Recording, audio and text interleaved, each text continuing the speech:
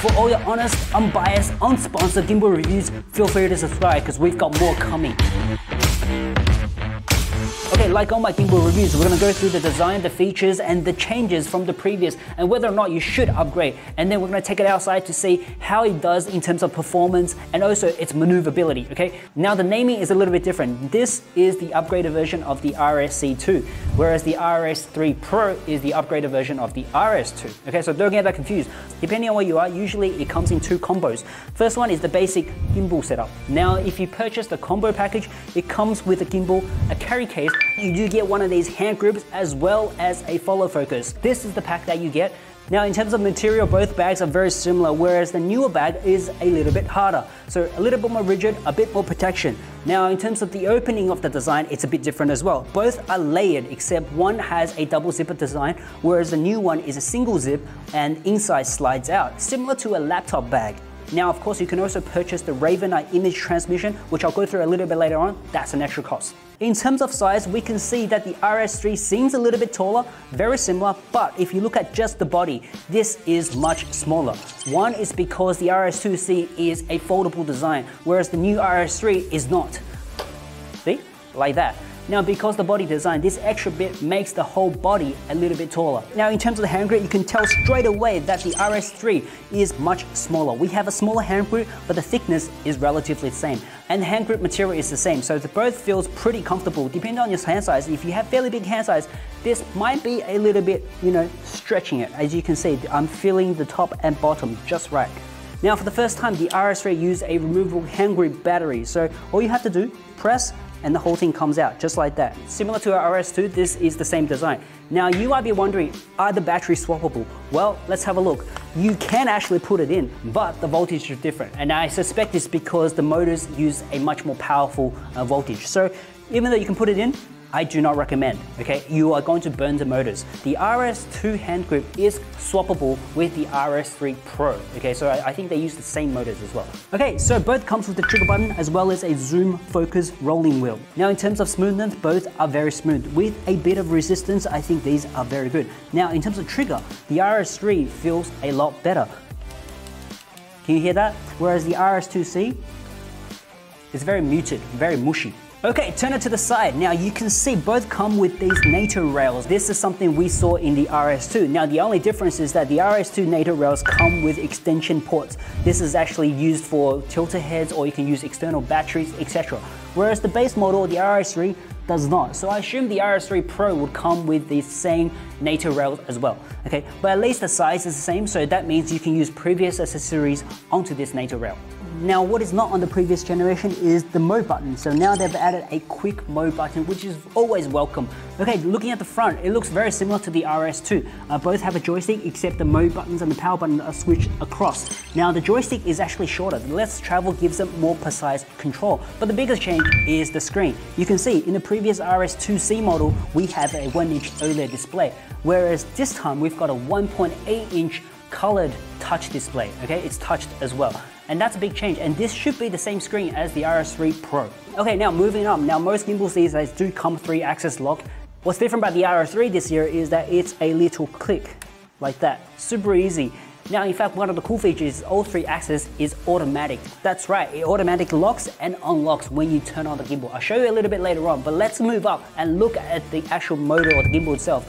In terms of size, you can see both are similar. In fact, they are similar. Now, like all my tests, I'm using a M3 with a GM2470. This is generation one, so it's actually the heavier version. Now, the reason I use this setup is one, because this is one of my heavier setups. Two, all my gimbal reviews I use this setup so you can compare the footages if you want just so it's an apple to apple comparison in terms of stability okay? But before we test let me show you something else. This is the handrail. Now you can put this on left or right handed so up to you. Let me just put this on quickly. And of course the handle is adjustable so pretty easy. Now on the back, we have a quarter inch mount as well as a cold shoe. So you can extend your monitor and anything you want on the back. Now both uses a step up quick release. That just helps with quick setup. You can take it off, shoot, and then put it back on. Now, one thing to keep in mind, even though the size might be the same, this is not interchangeable. One reason for that is because the RS3 now comes with the same adjustable knob that we saw on the RS2 and this is really good. So you can make minute changes. So you can put the RS3 plate onto the RS2C, just like that, but you cannot put the RS2C quick plate onto the RS3 because it has an adjustable gear. Now the RS3 quick release is a little bit bigger, so you do have that extra bit of surface contact. Now on the side, we have these holes. This is to bolt on the rails for the follow focus, and we didn't have that in the previous version. Now, because I'm using a fairly long lens, are we gonna hit? Well, yes, slightly. But if you use a smaller lens or a shorter lens or the Generation 2 lens, it's gonna be perfectly fine. Now underneath, we have a lot of clearance. Now you could say, okay, I could move this forward a little bit, right? You're gonna sacrifice a little bit of stability, but you can get your whole camera across just like that. Now remember when I said the three axis actually automatically unlock? Check this out. How cool is that? And when you're done shooting, everything locks into place. Super convenient. Now, of course, you can turn that off in the settings, but that is a cool feature. Now, let's check out the menu. We've got the all new menu design and it's very intuitive. So you've got the functions for your motor to adjust and automatically tune. You've got your gimbal status, as well as the most common use of modes. So, so you can press this and change mode. So you have portrait mode, as well as 360, and then you've got your FPV mode. And also you can go to custom mode here, and then you can choose whether I want to have tilt activated or roll or both, or all three. Now remove this, obviously then you will be in lock mode. So now and of course you can also adjust the speed of the gimbal in which it moves. Now there are some presets from fast to medium to slow. And of course you can customize your own settings from 100 to down to 5. Now swiping upwards, joystick speed, joystick smoothness, and then you can customize the dial function. Now as you can see right now, this is tilting, pan, roll. And of course, you can also control the shutter, the aperture, and the ISO, as well as the focus motor if you have that connected to the camera. Now, what's unfortunate, and like all previous models, is you cannot customize the trigger button. So that's one thing that I personally don't like is the fact you have to hold on to the trigger to be in lock mode. Now there are two ways to go into lock mode. One way is if you press the trigger button and then you press the screen again, it will lock itself in lock mode and then you would have to tap again and it'll go back to the previous mode that you're in. Now alternatively you can also set the mode so that all three axes do not move and then just switch to that mode in the customer section which I showed you in the menus before. You can also slide down and you have lock screen, your camera Bluetooth connection which is automatically connected to my camera. Once you pair it once, it's really quick and easy and then you've got the silent mode as well as your settings. Now in settings there are quite a few options. For example, you can choose the whether or not to automatically lock your axis gimbal when you turn on and turn off the camera. So go through this. I'm not going to go through all of them. Uh, this is not a menu tutorial, but you get the gist. In terms of modes, this is pretty covered. You're not going to get anything different from the other gimbals. Now, if you purchase the RavenEye transmission set, this is an actual purchase. You do have the actual features of Active Track. In terms of overall active track, it's pretty good and it's actually very fast. When I turn on to the maximum speed, you can see it's able to track me from left to right, not a problem.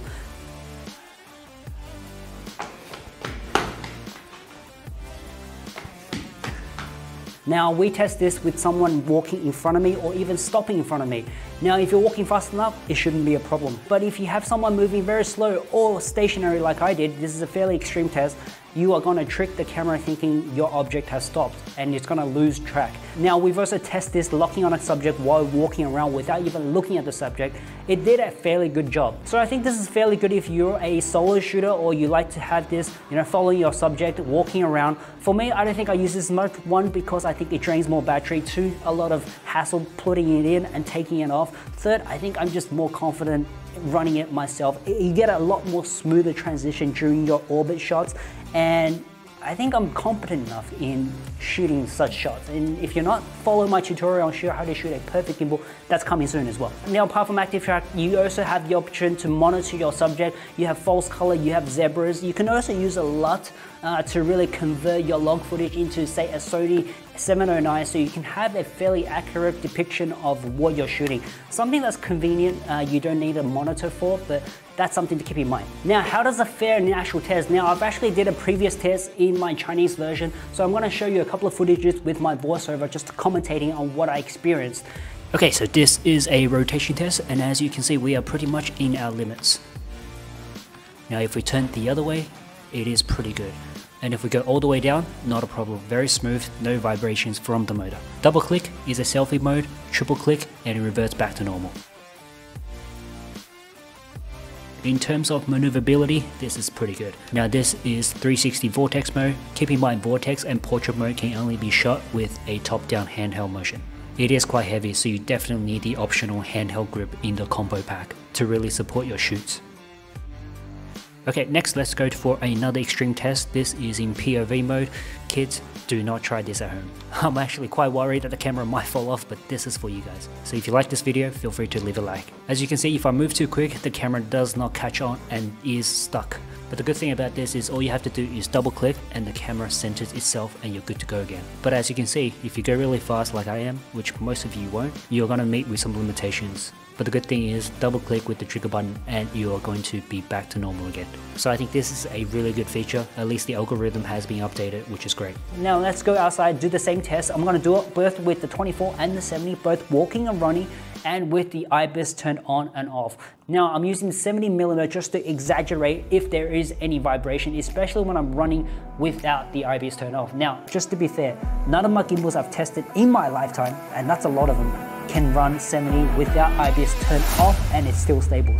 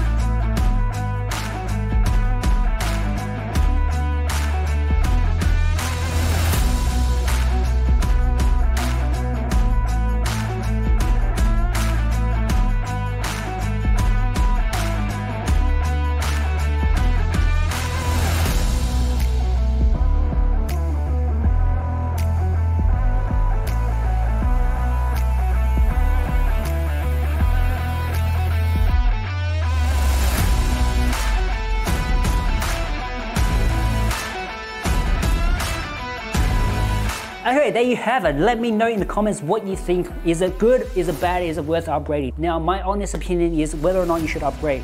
If you already own a Ronin or a DJI SC2, Probably not. Given that both the payload is the same at 3 kilos and the size is not much a big difference. It is sexier, it has a few funky functions, but overall you want the gimbal to shoot a capable image and I think the old version is pretty good. Now, if you don't have a gimbal, if you're using a mirrorless camera, if you're using a big setup like this, I recommend go for it.